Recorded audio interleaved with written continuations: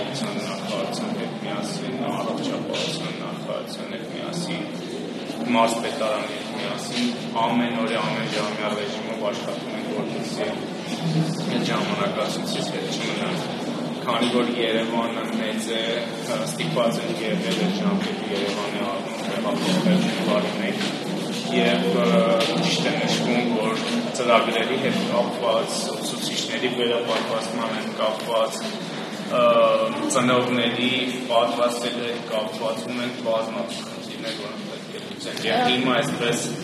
մանուալ ռեժիմով ձեր ձեր ձեր կառավարման միջոցով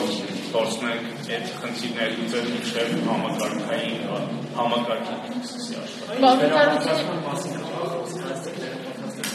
եւ ուսուցիչների կամ կա թեմա հատուկ ծրագիր, հա, ինչ ծրագրեր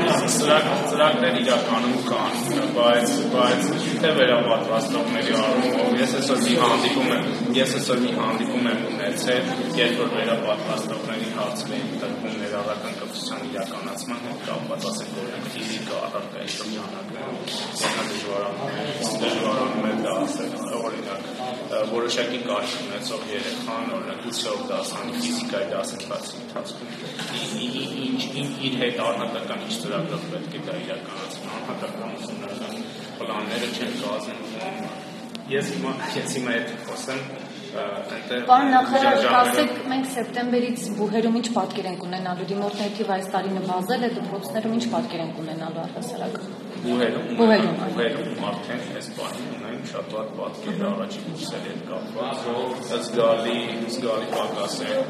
ծնողների թիվը եւ բուհերը ըստ էության բավական լուրջ խնդիրներ են ունենալու